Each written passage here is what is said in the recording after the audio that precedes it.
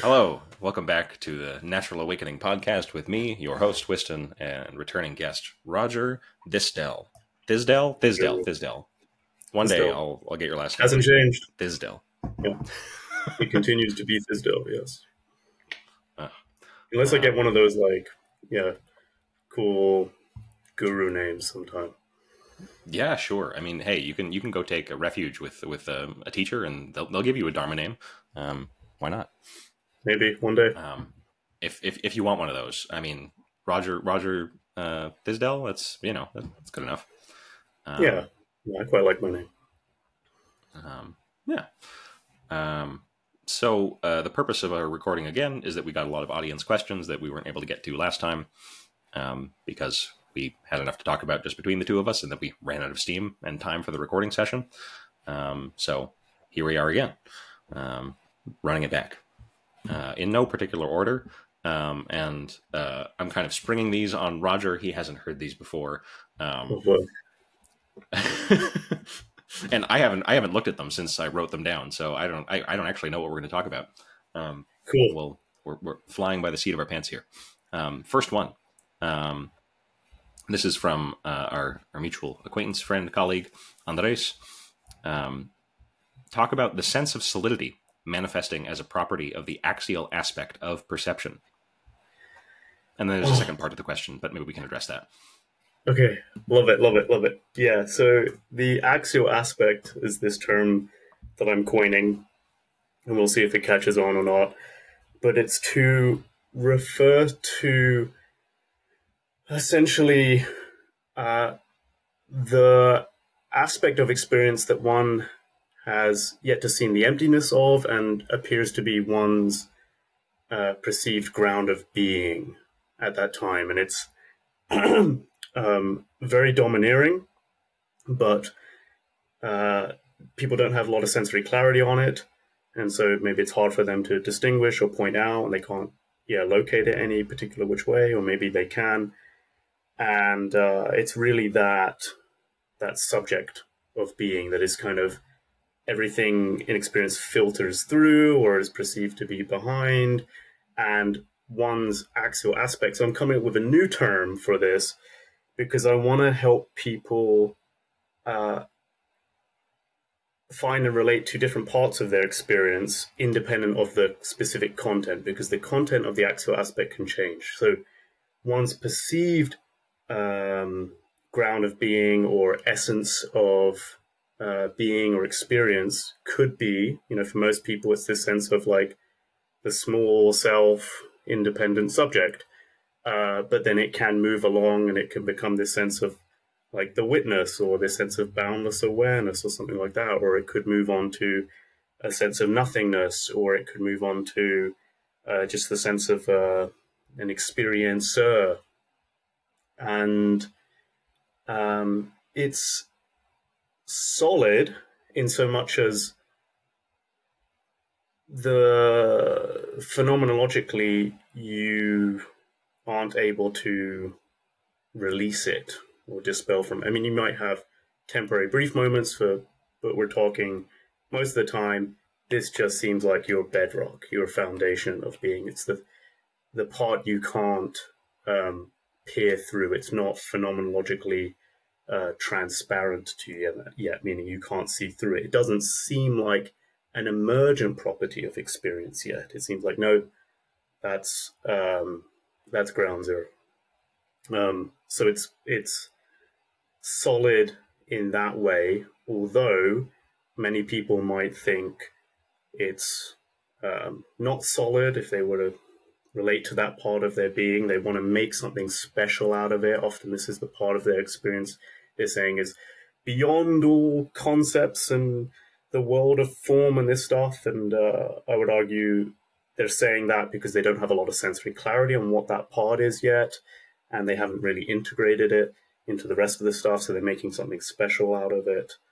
Um, yeah, do you do you kind of get the gist? Is, is that is that clear to you? Does that make that, you? that, that's clear to me, and I. I think if people are relatively familiar with the territory we're talking about, at least in a broad way, it'll also be, um, you know, it'll make sense to folks in the audience, but maybe I'll just restate it. Um, it's it's that aspect of perception. Um, I've heard in in some uh, some contemporary teachers. I'm not sure if they're they're, they're, translating a technical Tibetan term here. Um, if they are, I don't remember what it is. The basis of operation. It's kind of like the sense mm. of out of which you are, yeah, like yeah. filtering, interpreting, acting from in your experience. Yeah, perfect, perfect. Yeah, and I'm giving it um, this ambiguous name to so that people aren't always getting lost in because if you call it like yeah your your primordial self or essence and then it's making it so special and people can actually be referring to different things there and uh, yeah if you want to say no it's this special awareness thing or something like that um, yeah there are some problems that come up and there's like a lack of clarity so i'm kind of trying to ground it in oh no it's it's uh, relevant and relative to the other aspects of our experience, uh, including your sense of uh, the focused attention and peripheral awareness, and then this amodal perception. Yeah. Are you saying, Roger, that we are not the absolute witness beyond space and time that is simultaneously present in every phenomenon? I may just be, yes. Don't crucify me for it. Are you saying that that's merely a, a stage uh, of development along, you know, a perceptual path of, of, of clarity? My goodness. Yeah. Well, this is the thing is I kind of, I want to help people understand, uh, have tools for better making sense of their experience and be able to understand where other people are coming from and uh, introducing a, yeah, a term here that helps make sense of why people might speak in a certain way, and how you could relate that to your experience, and uh, if you're if you're if you've gone through that or you skipped it, or you're before or after, or any of these which ways. Yeah, yeah, I think that's that's clear for folks. And if it's not, you know, leave, leave a comment. tell us tell us if we're not make if we're not clear because uh, we're we're just talking yeah. to each other here. We, you know. it's gonna happen. Yep. and excuse the occasional cough that may come through. I'm uh, otherwise fine, but still got a bit of congestion coming off of a uh, common cold. and then the second part of the question from Andres is, and Jupiter, um, I assume the, the, the, planet here, being a huge unprocessed piece of information that gives the whole simulation a certain angular momentum that informs everything you perceive. I don't actually get what he's saying here. Do you do you know what he's saying here? Is this a reference? I, yeah, I'm not getting it. Um, so the, the full oh. thing is sense of solidity manifesting as a property of the axial aspect of perception, which we covered, and Jupiter, huh, being a huge unprocessed piece of information that gives the whole simulation a certain angular momentum that informs everything you perceive. I, I don't I don't get that. I don't yeah, I, I think I can relate to what he's talking about. So just another point on the solidity, Paul. This thing can actually be your axial aspect is so solid that you may not even understand its solidity. It may not be obvious. It's not um, solid in the sense of feeling a, a rock. Uh, it it can be. It's a, a part of experience that's so domineering that it it's like a fish in water. You can even forget that it's just all. It seems like it's just always the case. So you know when people talk about um, they they they're always uh, aware of awareness, or they um, have never lost touch with that sort of that special um, ultimate thing or whatever or non-thing thing.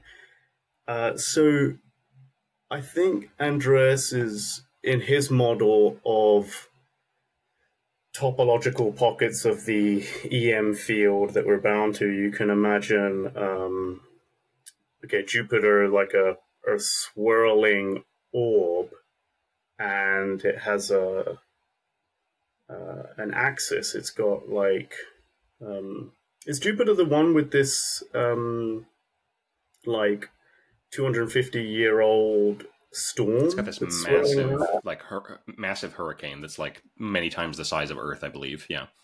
Yeah, yeah. So you can imagine if you've got sort of a swirling storm like that in your topological part, which which all other uh, which affects the rotation of of, of all of the, the, sort of vector fields and all the currents are sort of moving around it, then that's a pretty um, that's like your axial aspect in that regard. I probably can't say much more. Honestly, I, yeah, think, I mean that that's that's an evocative metaphor. Hmm. Yeah, so so there would be something here to it's like calm the storm down and like unswirl the pattern or um, you know how do you you know reverse the hurricane mm-hmm. and so that it undoes that yeah yeah yeah and then, then you can have more, Many more uniform like oh sorry say that again no, no, no. How, how does one do that? And my, I answered my own question rhetorically. Many ways. Um, it's kind yeah. of mysterious, the actual mechanics of it. Hopefully, we'll get some good science on this at some point. Yeah, exactly. Yeah. Um, but you can imagine without uh, a whirlwind um, in the middle of your being, then you can have much more uh, consistent, like lateral flow throughout the experience, rather than if anything interacts with that, then it gets sucked up and spat out. And um... yeah, yeah, yeah. I think that that that that's that that makes some sense to me. Um, not knowing much about about Jupiter, or you know, maybe as much in detail about um, Andres' topological model, but yeah, yeah. Um, okay, so I think we have cleared that. Um, from this is from Naro. Um, what are your best gears level models of how various approaches methods work, and whether some work better than others in relation to the goal of stable, um, which is an odd word to use, but stable non-dual perception. Mm, you've probably got a better take on this than me. Oh, I mean, yeah, I mean, I I've in my own practice, I've spent far too much time um, examining different maps and models between mostly Buddhist traditions, but also like comparative mystical study. Um, not as in depth as a lot of folks I know have done. Um, but it, I mean, my my my take. Uh, I'm just going to ape Shinzen here. Um, I'm going to take take a page from his book. Um, whatever works, prag- pragmatic criteria um, for technique selection. and if you find a map or a model motivating, great. Um, and if you find you're fixating on it, ditch it. Just practice. um, mm. And uh, like find find a few good pragmatic uh, criteria for for progress, um, which is you know less resistance, less dukkha, you know less suffering, um, less fixation in the body, in the mind, in perception generally, um, and just go all in on techniques that seem to work. Um, and mm. do that in consultation with uh, a teacher or teachers or and a community if you can for support right? I mean, this is the tried and true way um, that has worked for many hundreds and thousands um, of, of, people for thousands of years. Um, there isn't a magic bullet, I'm afraid. Um, not that I'm aware of. Um, I've looked. I, I, have favorites, you know, among among techniques and traditions and, and maps and models. Um, but that's just what's worked for me. It doesn't mean it will work necessarily as well for other people, right? Yeah, yeah, I like that answer. Yeah, yeah, I think very much so. I don't even value my own opinion uh, to a great degree on this question. I'm still sampling. I'm still hearing from more and more people all the time what works for them, what they like, and then I do think uh, the world could do with a lot more empirical research and data in this regard. You know, we're very far from any kind of yeah, science of enlightenment, to quote Shinzen again.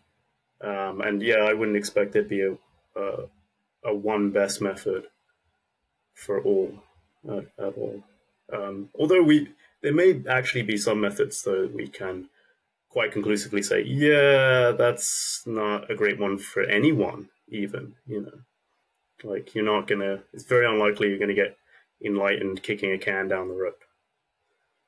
I mean, it, you know, if you if you're if you're uh, in the context of Zen koan study and you've uh, you know been boring away at it for years, and suddenly you kick a can down the road in frustration, and the ting suddenly explodes your perception, and you you know flip over um, into uh, Buddhahood. You know, great. Um, but uh, yeah. that that the, you you hear those stories, and what's often left out um, of these kind of spontaneous awakening stories um, is well, hold on. There's a huge context that led up to that most often in those stories that that practitioner that you know that that excerpt from their life they were practicing hard for years or decades yeah yeah yeah there's so much to fill in here. It's just like, what practices do people have an affinity for? Where is their starting base? And the um, a set of practices or a school of thought might be good at one part of the path and then be less functionable later on. And, and um, I think it'd be good to do some mapping on like attachment styles. And so, you know, people more aversive types or, yeah, attached types, attached types and what works for them. You know, I think, it, um, yeah, there's just like a lot of research we could do there. Yeah, and some of this research, I mean, not in a um, you know randomized control trial sense, but some of this research um, in an anecdotal kind of yeah. embodied lineage wisdom kind of sense has already been done yes. um, within different Buddhist or other contemplative lineages with you know kind of their personality typologies. Ah, you're a greed type. You're an aversive type. You you're mm. inclined to dullness slash ignorance. These are the practices that would probably be best for you. Um, that that kind of um, personality typology and differential recommendation of techniques you'll find in something like the Abhidhamma or the Visuddhimagga, which is based on the Abhidhamma in the Theravadan tradition. Um, and also, that's just a guide, right? Um, my my general, you know, in teaching, it's like, what do you actually want to practice really intensely? What are you motivated to do? yeah. yeah. Yeah, great. Um, so, yeah, maybe that's a an unsatisfactory answer. Maybe maybe one more thing. Um, in in in my in my opinion, which is just my opinion, um, there isn't enough emphasis in contemporary contemplative pedagogy on cultivating really really deep and continuous samadhi, um, whether that's through the jhanas or some other system um, of of sequenced states, or just you know continuous cultivation of a really calm, clear, collected, focused mind. Um, you know, the the Buddha um, famously uh, made the analogy of shamatha and vipassana being two wings of a bird. Um, you know what happens to a bird with only one wing? I can imagine. Um, yeah, um, and in in Zen, for example, it's it's frequently said um, if you don't develop profound and continuous samadhi prior to awakening, you'll definitely have to do it afterwards for integration. Mm. So um, yeah, I, I, see a lot of people attempting techniques um, kind of pitched at a level which um, traditionally, you know, would would not necessarily require absolutely because there are no absolute requirements, right? Um, you never know what will work. Um, but like as preliminary practices to those techniques, you'd want a foundation of, in some cases, like extreme samadhi to, to actually make this kind of technique effective. Um, so that's that's my take. More more samadhi. I'm, I'm pro samadhi, mm-hmm. mm-hmm. pro concentration, absorption. Mm. And then, then uh, you know, the same same vein. I think often people can overrate how much concentration they think they need, or that just being one of the wings. You know, I might add some other wings here where people think, oh, I just need more concentration. I just need more concentration. It's like actually you could do with some more uh, overall equanimity or more sensory clarity or more like metacognition in this regard. And that's part of the reason you're not uh, punching through. So don't just brute force it with like more effort. Or actually, your subminds are really dispersed and um, combative against one another. You need to do some more Brahma Vihara practices, or you need to go to therapy actually and resolve some of your trauma. And and then you might find that you know, creates a more unitive mind and then concentration gets easier just naturally. Yeah, absolutely. Um, and uh, maybe I remember someone else uh, jumped in um, with this question, so I'll, it's relevant, so I'll bring it in now. Um, what is your view on thought or thoughts on modern positive psychology? Um, it's a simple answer for me. Um, use whatever works. You you find contemporary psychotherapeutic you know modalities helpful, um, as as I have, and many of my friends, colleagues, teachers have. Absolutely, do that. Um, Roger. Nope. I don't know. I don't know really what to say there. Um, modern psychology. Well, they said contemporary positive psychology, which I guess is kind of a positive. I was, I was answering more generally in terms of like psychotherapy. Psychotherapy. Um, I don't know specifically if they're referring to a school or a like I don't know. I don't know. I, I, I have not read up enough on the psychological literature to know whether they may be referring to something specific. Yeah, I mean, I think there's just a lot the uh, Western psychology actually has to contribute to this space and is making really interesting, um, uh, yeah, help, helpful, helpful mappings of the human experience. So there's like the attachment types, like said earlier, um, you know, Jungian archetypal psychological work that does their understanding one's experience in like symbolic fashion, I think can be really illuminating and interesting and integrating your shadow. Um, I'm a big fan of IFS, internal family systems. It just makes sense when you go and explore and find these different subminds that, you know, have uh, different voices or different parts of oneself that are like trapped at different uh, ages in the past, and you can kind of go back and and hear them out and integrate them into sort of loving awareness, and it works really well in that regard. And um, it's nice. It's nice to hear. It's nice to see that more of the meditation community is taking on board these tools and looking into them, because you know I think about spaces like radical non-duality scenes that are infamous for spiritual bypassing and such. And so they're like, oh, I'm just gonna I found this one safe haven kind of move trick in my mind. I'm just gonna keep pulling it or keep attending to that or keep referencing it and I'll be good forever. And uh, yeah, it's like a it's, it it shows itself. It doesn't do the trick. It doesn't relieve yeah. uh, a lot of deep tension and suffering. So. Yeah. Um, a book yeah, I, I, I some like maturity and some development here. It's really nice. Yeah, totally. Um, you know, the, what the I think is Wilber originated this model: the wake up, clean up, grow up, show up. Maybe yeah. I got the order there wrong, but um, yeah, yeah, all all are important, right? And th- and this is basically it's it's it's not that this isn't covered in traditional um, like lineage teachings. It's just you know not within the frame of contemporary psychology. I mean, there is some stuff which genuinely isn't covered um, in the traditional texts and, and lineage stuff, mm. um, like mm.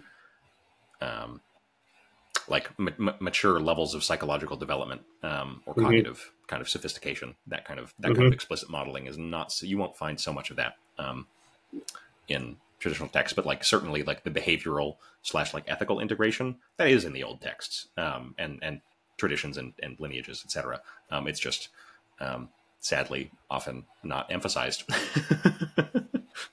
um, for for various historical reasons. Um, yeah. Any uh, a book a book recommendation um, already free by Bruce Tift, who's a psychotherapist and also a I'm not sure if he teaches Dzogchen himself, um, but he's yeah, he, good book worth reading on the uh, interplay between contemporary psychotherapy and liberation. Yeah.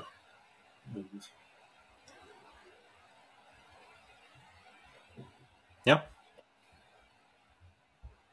Um, all right. This is from Christopher. Can a complex belief system take you closer to awakening, or must all such things be ultimately seen through? That's a good question. Yeah, yeah. I, I think about this about uh, different types of intelligences uh, some that are useful and some that actually can hinder. There's something where like high IQ folks folks they develop much more complicated structures of thinking that are then actually even harder to see through. so they're just adding like more and more complexity into their world modeling and they're not actually seeing through the emptiness these things.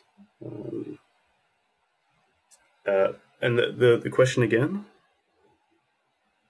Yeah, uh, can complex belief systems take you closer to awakening, or must eventually all such things be seen through? Um, well, yeah. Um, ultimately, I would say all of it's got to be seen through to be empty. That um, there's no, there isn't going to be any one-to-one accurate uh, structuring, mapping, conceptualizing of reality in and of itself, uh, there's something to understanding that reality is perspectival. So you're just getting glimpses, and they're always incomplete and partial, and and uh, there's something to understanding that in the moment. Uh, on the other hand, you know, I, I do see some people struggle with some of this stuff because I think they're not able to adopt like enough sophistication in in the journey, being able to consider the bigger picture, be able to consider uh, long term and short term views, and uh, beyond themselves, sort of picking up first person and third person perspectives and working with those. And so they don't know how to reconcile things like um, you're already awake, but also put in the work. And so that, you know, the mind is like splitting like yeah. this. And depending on one's psychological level of development, people may be reduced to more black and white thinking, which can be hard and inadequate for them to um, get what's going on here. Uh, so it can help, it can hinder. Uh, yeah. What do you think? I think minimum viable scaffolding is my my recommendation, but mm. most people will need some scaffolding, um, and you know that's that's an ongoing discernment, right? Um, you know, some some people, you know, in a Zen approach, you show up at a Zen monastery, you say, "Hello, Roshi, I would like to do koan study," and they're like, "Okay, um, you're going to extinguish all thoughts that you have cherished up to the present, uh, throw it all away, burn it. Um, here's Mu. Uh, take this day and night, take it like an iron ball, put it put it in your belly. It'll it'll and it'll uh, it'll burn you up. Um, enjoy. Um, don't don't give rise to any delusive thought. Quit it. Um, that's one approach. mm. um, uh, and for most people, most of the time, um, scaffolding is good. Um, and actually, you know, if you're if you're actually doing that kind of practice, there there is that that takes place within a greater context of Mo- motivation, bodhicitta. What are we doing this for? The liberation and benefit of all beings. Um, yeah, yeah, yeah. I think about there are some programs that are worth downloading to then later uninstall. I think about um, yeah certain steps here. So seeing that everything is in your mind, getting sort of like really getting on board and integrating um, uh, what's it called? Um, indirect realism. And that's just a really useful tool. But at some point, you want to see through that as well. So see through even the view that everything is in your mind. But if you can take that on for a time being, uh, but then also uh, dismantle it. Yeah. yeah. there's this wonderful, um, wonderful koan. There's a some monks who hold a kind of naive idealist position. Um, that they picked up from Buddhist sutras and may, hmm. probably their own practice experience as well. Um, and uh, the a teacher walks by and sees them kind of having a philosophical discussion, and and he, he points to a big boulder and he's like, "Monks, where is that boulder?" And they're like, "Well, of course, it's in our minds." And it's and, and he and he says, "My, it must be so difficult for you to walk around if with that boulder dragging around in your minds all the time." um, um, yeah, um, we could get into a discussion of different forms of, uh, you know, um, philosophical interpretation of of awakening, but maybe mm-hmm. maybe some other time. Um,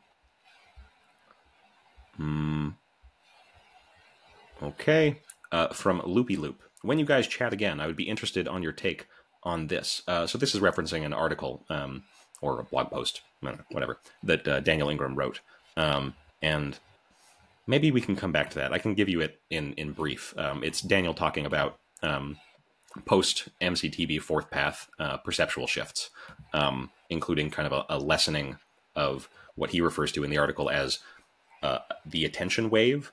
Um, so post, you know, fourth path as as he defines it, um, there was still the sense of like waves of attention, like moving throughout the field, um, and kind of having a focal emphasis or not. Um, and it, he did some practices that led to that eventually ceasing. Um,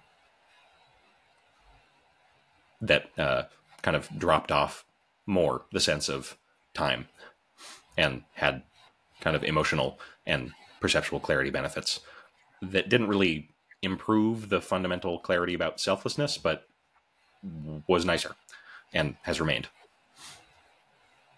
Sure, sure, yeah.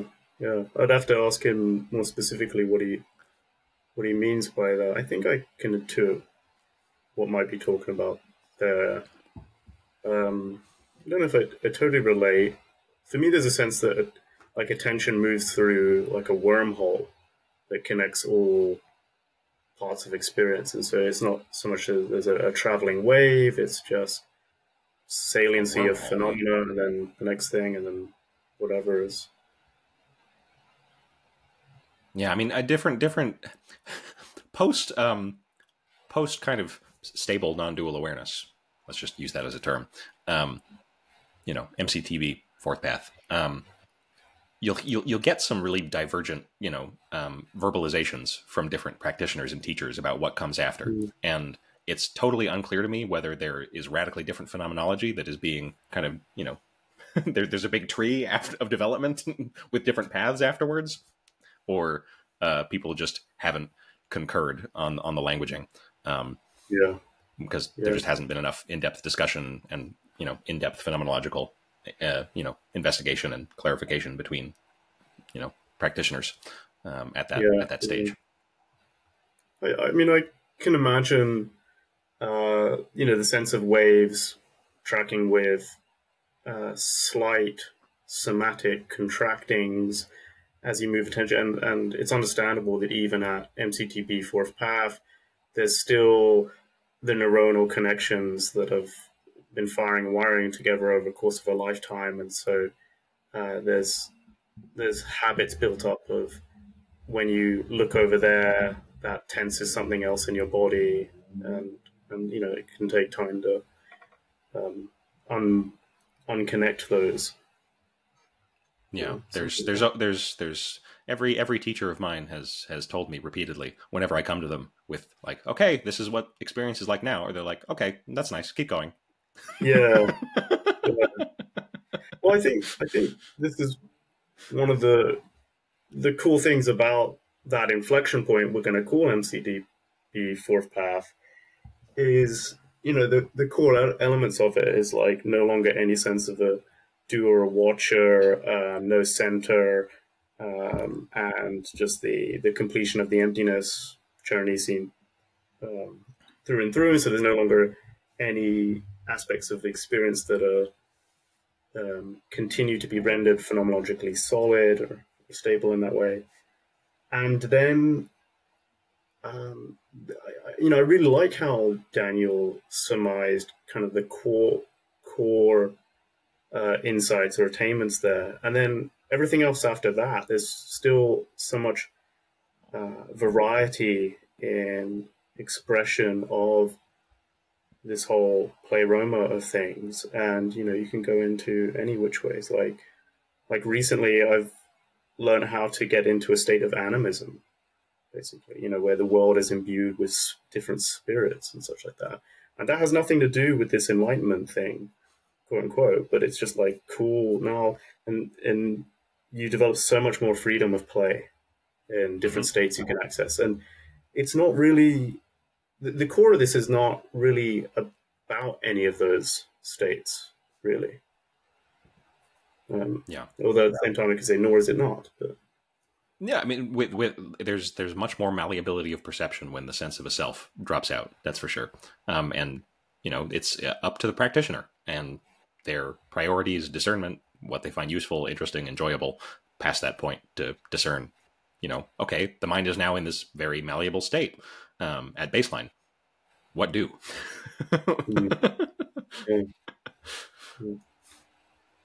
um, I have my preferences, but th- those are those are my preferences and my priorities. um, animism, neat. I've had I've had some experiences like that. Um, mostly mostly my explorations continue to be in the kind of Vajrayana Dzogchen end of end of things, and that can mm. get pretty weird and exotic in fun ways. Um, which, mm. um, well, I mean, read read the texts, folks. It's not an exaggeration. Um, gets weird, gets fun. Oh yeah. oh yeah, yeah, yeah. Reality can get really freaky. yeah.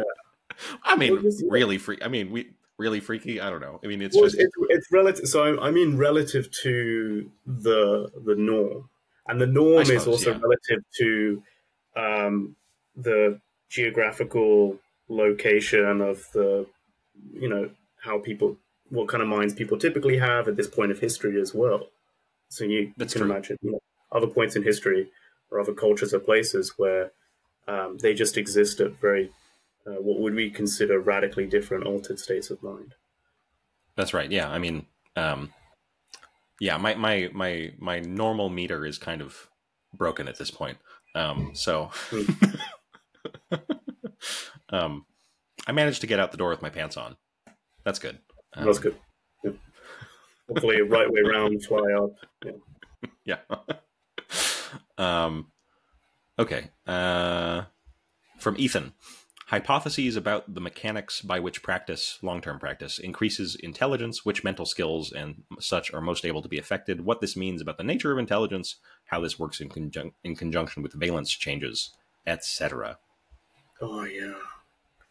Yeah, it's a really interesting point, and it's so anecdotal, but I want to say, yeah, my potential for realized how smart I can be was absolutely bolstered by all this meditation practice. It's something to, I just have more mastery over my mind and attention and more uh, getting less caught in the hang ups and being able to let them go. There's something to, I think I can, I've managed to access higher stages of psychological development because one thing MCTB fourth path got me to was having a kind of mind that is effectively ontologically neutral and can get out of the reductionistic game where it's not trying to pin down close and contract around any particular you know ontology or metaphysical belief. And so there's radically more freedom to uh,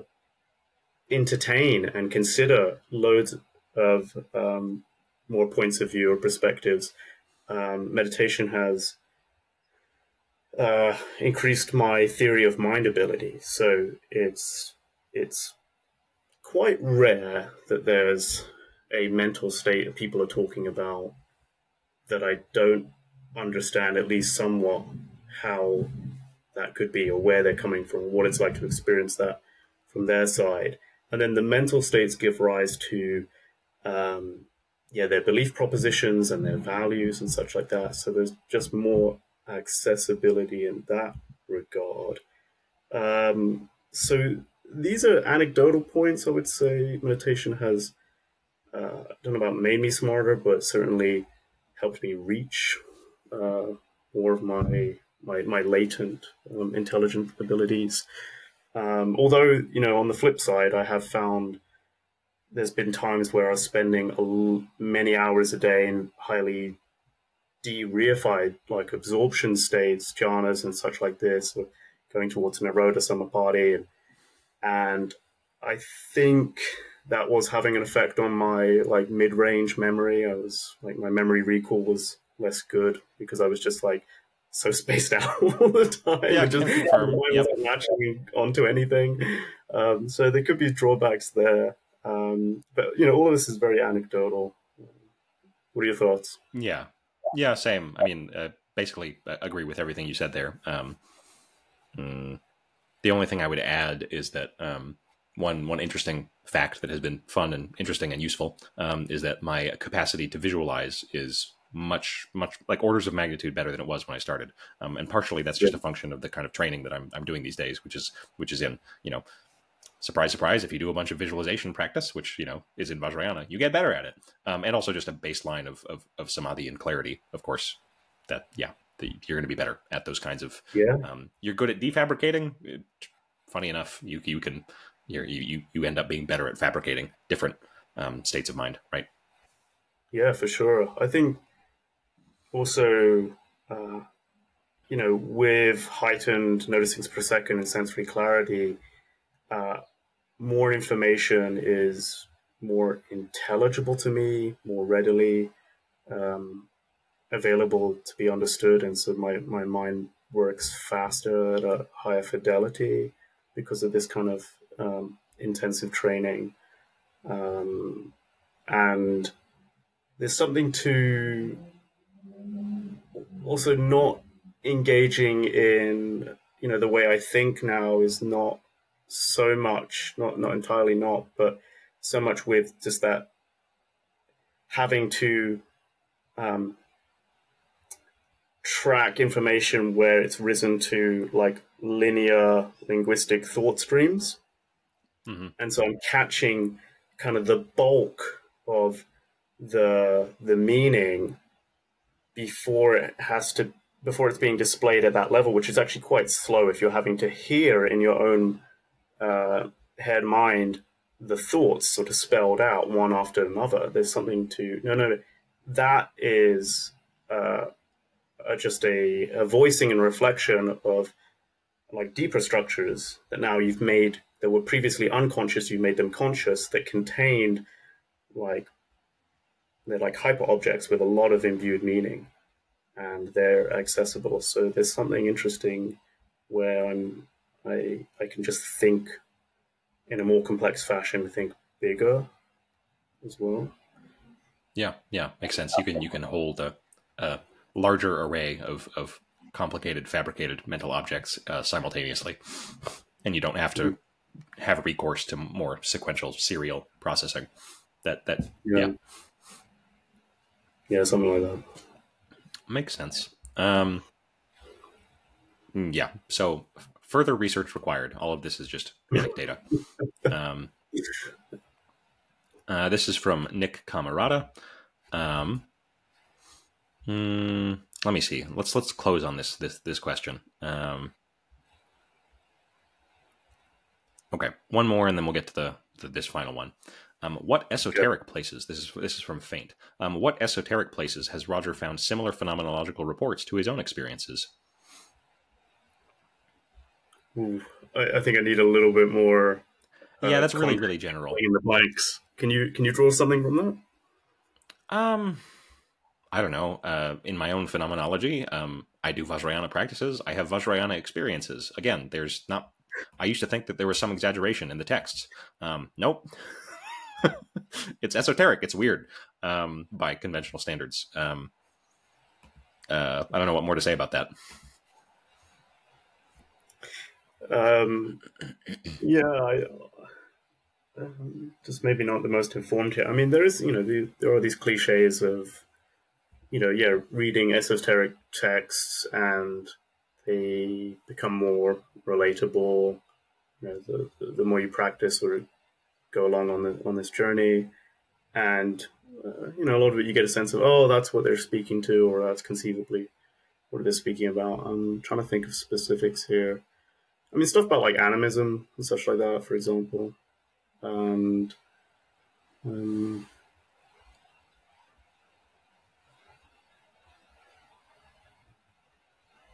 I don't know. Nothing's coming up at the moment. Yeah, that's fine. Um, there's a second part to the question, however, from the, the same individual, um, which is more specific. Um, seeing the jhana discourse, if you have, I don't know if you've, if you've paid attention in, at all to the, the jhana drama on Twitter, um, and the, the general lineage teachings um, held by experience commentary. So this is kind of contemporary stuff that's been dust ups on Twitter. People being like, lineage is necessary. No lineage. It's all DIY. You know, people arguing back and forth. Um, do you feel um, any of the steps on your path should have been held more in lineage? Um, like, would you have benefited in any way from like practicing in a container of you know a, a tradition um, with with a, a, teacher, a guide, etc.? Um, maybe, yeah, quite quite likely. Yeah, my my journey was very solo, just in my bedroom, kind of figuring this stuff out. I won't deny that it could have been beneficial for me to have found uh, a good teacher that was a good fitting for me and allowed me to speak very openly about my experiences and uh, um, you know i'm still very much open to that. I'm still very open to to learning from the greats who've come before me who have a lot more experience and, and wisdom. Um, yeah, maybe there's something about my my kind of personality or disposition that uh, was whenever I was going on retreats or um, a lot of these sort of character teachers weren't speaking to me or calling to me, or there wasn't a sense that I could do the nitty gritty phenomenological discernment stuff that I was more drawn towards, or that that would have been uh, encouraged or recognized, even. Mm-hmm. Yeah, I mean, I, I, can I can relate for the first five years of my practice. Um, I though I was practicing in monasteries and lineage contexts, um, it was rare that I um, discussed the intimate details of my practice with a teacher. Um, you know, sometimes I would have a specific question about a specific thing or a technique, but mostly mostly I was working out of you know technical manuals um, and occasionally talking to senior uh, friends more than teachers. Um, yeah. Uh, yeah. But you know, in recent years, I, I have found teachers that you know are willing to just you know they're good with whatever I bring, which is great. Um, uh, and that's that's that's unfortunately rare.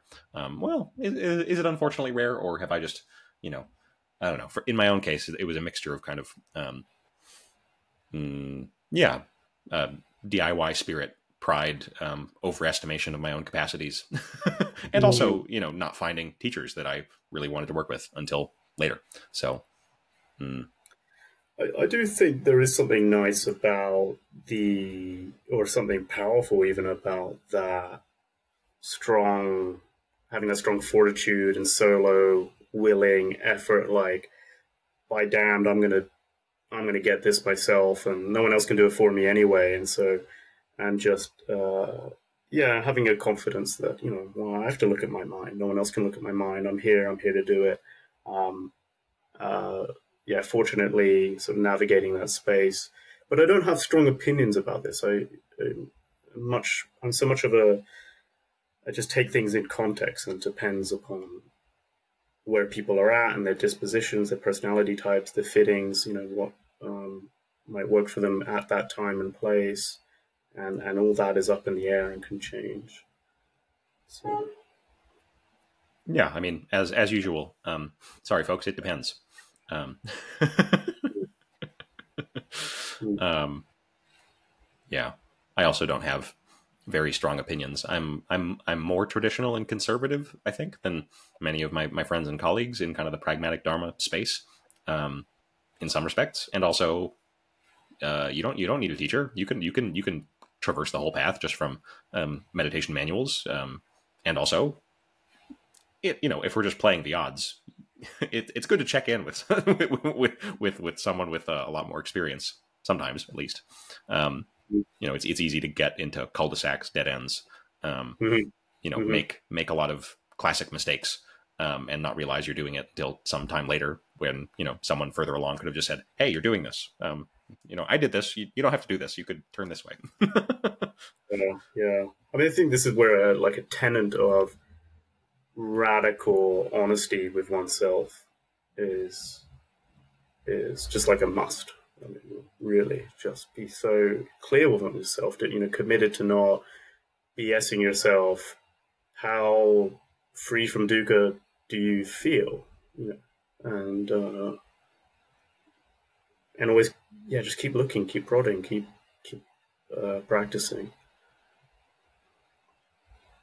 Yeah, yeah, right on.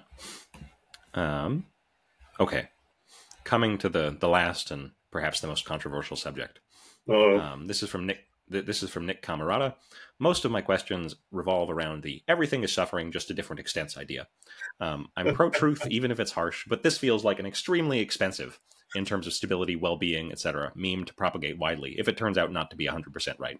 So there's there's there's a bunch bundled up into this question, um, uh, kind of an info hazard. Um, or like precautionary mm. principle. Like if if all fabricated perception is suffering, um, is that actually true? And if if if it is, is that really something that we want to be telling people? Um, because it, it might just you know make them unhappy or lead them into a kind of nihilism, which is a genuine danger. I mean, you'll find um, in uh, the Buddhist text actually um, people who um, the the teachings are considered a, a snake. Um, if you mm. there's a right way to there's a right way and a wrong way to grasp a snake.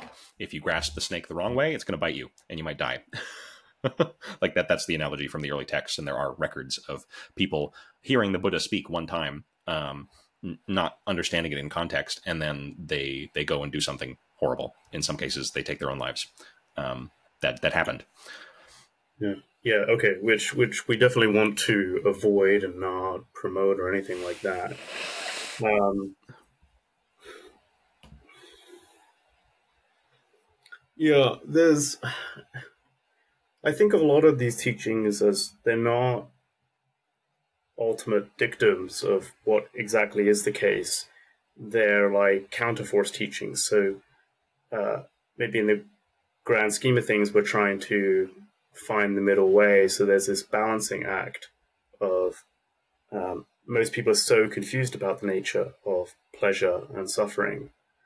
And so um, Buddhism on its front seems kind of pessimistic, but um, in the right circumstances, it can get people to actually question go, well, actually, all these things that I thought I was were should be attached to and are, are good in and of themselves and are pleasurable. Uh, it was like, oh no, even those contain dukkha, or let me inspect those, or hang on, they don't provide me satisfaction. Uh, okay, that can be a good counterforce teaching. I think about, yeah, um, nirvana being talked about as in some there's like a negative view that it's the complete annihilation of all fabrication form and and suffering. But there's other descriptions of it where it's talked about as being the supreme bliss. The like pleasure beyond pleasure. And it's talked about in these like really positive terms. And there's a way to make sense of both of those. Like, oh yeah, uh, and I would, you know, something if if I mean this is a bit more advanced, but if people can have cessations and gain knowledge into the insight of nirvana or nibbana, um, can you do the kind of contemplation to make sense of both of those descriptions and see how, yeah, they're they're both they're both accurate in a way. They can be pointing towards the same thing. Uh, there's that. I do understand the information hazard of talking in a way that of all of this being so negative, which I'm I'm guilty of. I know, uh, and I, I'm trying to just like apply this counterforce teaching. Um, it's a big topic, and it's something worth actually exploring delicately. Because I I've had have had people write to me actually being like, I've heard what you said about there's no such thing as pleasure, and it's like suffering all the way down. And so, why isn't death just preferable in this way? And I'm not, I'm not advocating for that. There's something to, um, you know, that that being a tool to let people ungrip and let go, but eventually this you know, with the other teachings, with the no self insight as well, this can lead to a scary place of like, well, actually, you can't die. Um, if there's no one here, it's just like consciousness, consciousness remanifesting, and so you don't get to solve the problem of suffering by by dying and such.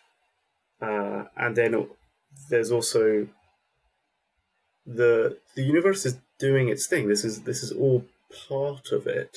Uh, we still want to minimize suffering, mitigate suffering, um, but there's something to uh, getting to a place where it's it's yeah, I mean it's just so manageable, it's so bearable, it's so acceptable in this way. I mean, for, for oneself at least, because the suffering is so so minimal. And this this goes on, and there's a continued burning off of one's karma and helping other people's. And um, yeah, big topic. Uh, does it raise thoughts with you? Yeah, um, I would. I suppose I would just agree with everything you've said so far, um, and add. Um, there are more positive valuations, right, and descriptions of the the path and the goal. Um, in later Buddhist traditions or other contemplative traditions, you know, which, as far as I can tell, approach similar, if not the same territory. Um, that you know, one there's one description of nirvana or nibbana as a mind freed from greed, hatred, and delusion, right? So just the, the absence of those factors oper- operating in the mind. Greed, you know, you could translate it also as attraction, um, as this, you know, pulling towards this, this, this, which, and all of these depend on the sense of a separate subject there's this need, this pulling in of of something outside oneself. That you know, the boundary between self and other still being maintained. I need something, something, anyone, anything. um, then there's the, the, the push, right? The the aversion. Um, like, oh God, not this sensation, not this, not whatever the, mm. this thought, this emotion, this feeling, this situation. Please, fuck no. um, mm. Pushing away, and both of those depend necessarily on um, the sense of a separate subject or the traces laid down by that separate sense of self. Um, you know, because ha- all habits don't evaporate at awakening. Sorry, folks. Um. Further, further practice required. Um, and and then there's the the delusion that, that undergirds both, right? The the ignorance. I mean, these are these are the three root like mula kleshas um, in in Buddhism, the root delusions, um, the root defilements, afflictions, various translations. Um,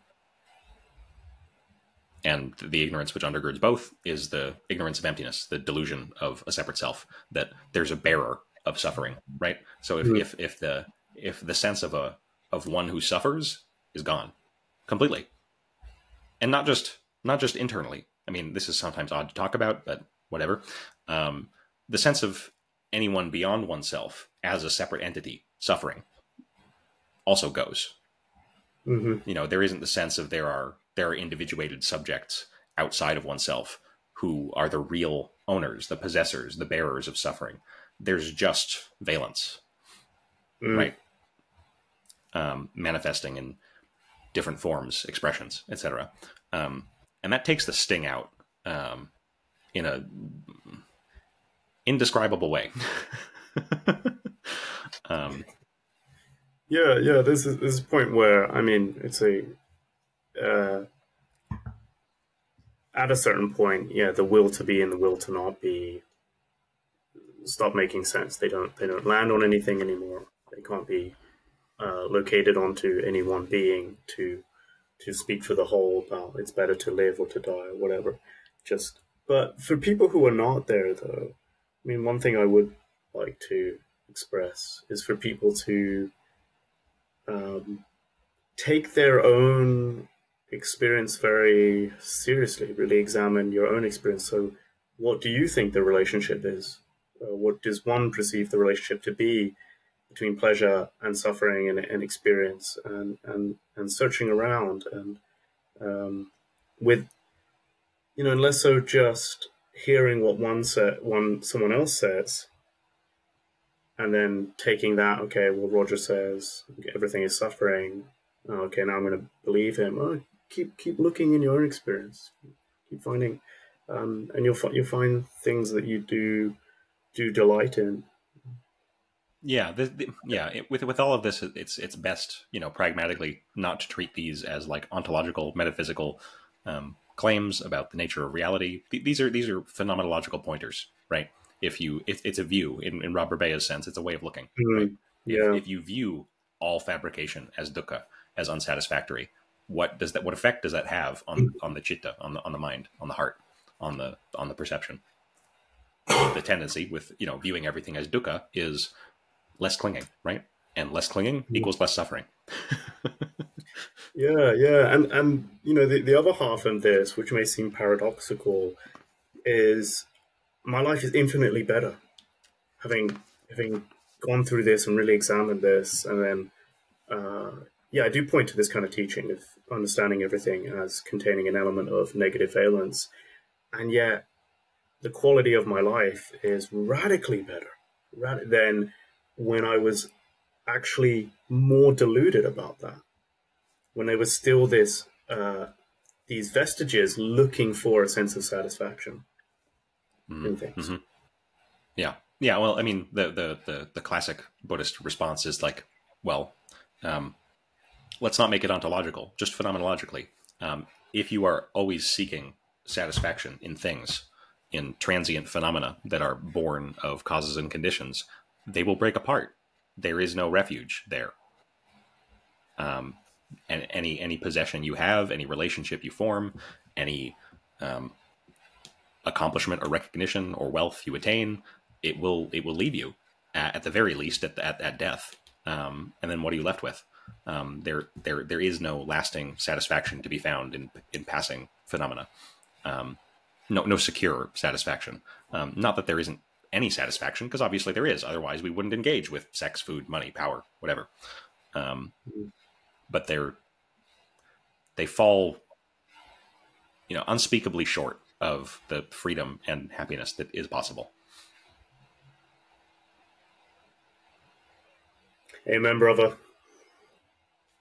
All right, maybe maybe we're done. Um, cool. Yeah, I I think we're good. I think we're good. Um, Sounds any good. any final words? Um, blessed be all and do well unto yourself as you would to others and vice versa and all that good stuff. So, Yeah. May all beings everywhere be released from all suffering, without exception. mhm. And uh, I will put links to Roger's things um, in the description. Um, where I mean, people can just Google you. You're you're you're very findable. Great. Uh, maybe too findable. I don't want to keep myself on the on the down low, you know. I want the right Um, people finding me.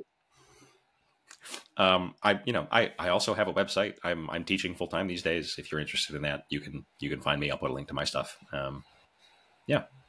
Okay. Thanks for tuning in, everybody. Thanks, Roger, for for coming on again. And uh, Thank you.